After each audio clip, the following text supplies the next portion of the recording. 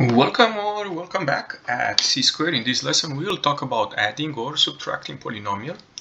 And for adding and subtracting polynomial we have to combine what we call like terms. So you're gonna see here ex some example of like terms like number 2 and 10 are alike uh, 3x squared and negative 2x squared, they are alike. They have the same variable x, the same power 2. It really doesn't matter the number in front, so they are alike. And the last example here is this one, where we notice we have the same variable x and y, and variable x has the same power in both expression and y the same thing. It really doesn't matter the number are different. So these are three examples of like terms. And here you have three examples of uh, terms that are not alike. Different variables here, different variables, even though they have the same degree, you cannot combine them.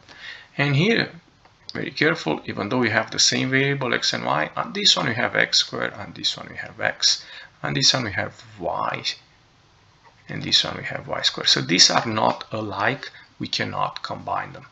So now let's see an example. And we have here find each sum and we're going to start with this part A uh, and we have 2x squared plus 5x minus 7 plus 3 minus 4x squared plus 6x. What you can do here is to drop the parentheses right away because is addition and then like I said look for the like term. So we notice here we have 2x squared and the term that is alike is this one so we have 2x squared minus 4x squared, or simply 2 minus 4 if you want to do this math, and that will be negative 2, negative 2x squared. And then we're going to look to the next group of like terms, and this will be this 5x plus 6x, and that will be 11x. 5 plus 6 is 11. 11x, and we have a last group of like terms, negative 7 plus 3 and that will be uh, minus 4 and this is the answer for this problem uh, A. Let's take a look to B and on B I'm gonna use a different strategy. You don't really need to eliminate those parentheses and let's see how what I meant. Okay so I'm looking here and the largest degree is this y cube and I notice here and here. And we have this y cube plus 2y cube. That will be 3y cube Uh, the next one is the y square. If you notice, we have the y square here, 4y square. But we're looking in the first part, there is nothing, so we just have plus 4y square. And then we're looking for the next term, which is y only. So we notice we have minus 4y here and 3y here. So we don't forget we have 3y plus negative 4y. 3 plus negative 4. If you need to do this math, do it like this. That will be negative 1, right? So that will be minus y here. That will be negative 1. So that is minus 1 or y or just minus y. And then we have a last group, uh, which is uh, this one, right? Negative 5 plus positive 8. Negative 5 plus positive 8. So that will be nothing else than negative 5 plus 8 and that is positive 3. So the final answer is what you see there, but let me write it one more time. 3y cubed plus 4y squared minus y plus 3 is the final answer.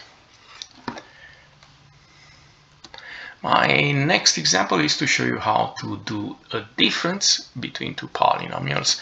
So let's take a look to this example A and we have 4 minus 3x plus 4x squared minus 5 the quantity 5x minus 7 plus 5x squared if you want to eliminate the parentheses then you need to be careful for the first part for the first polynomial we keep it no problem but this is minus, so we're going to distribute the minus, so we're going to have minus 5x.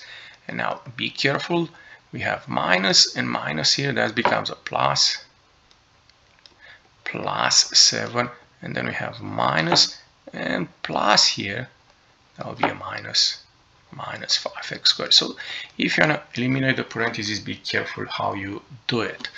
And now let's see what we get. We have 4x squared minus 5x squared there. That will be negative x squared or negative 1x squared, but we don't really need that one.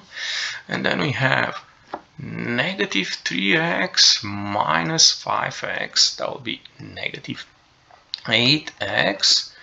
And the last two terms that are like 4 plus 7 and that will be 11 and that is the answer for this problem. And the last problem in this uh, short lesson about adding and subtracting polynomial we have another subtraction. And here I'm going to use the same thing like in the previous example I'm not going to eliminate the parentheses I'm going to try to do it without that so let's take a look here we have 7y minus negative 8y. So you can put that somewhere here. Let me do that. 7y minus negative 8y, which in fact means nothing else than 7 minus negative 8, which is going to be 7 plus 8. That will be 15. 15y. Uh, now let's take a look to the next term. And we have negative 4y cube only, nothing else.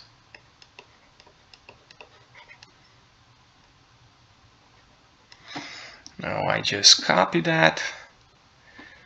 And then we have this minus 9, negative 9, minus positive 4.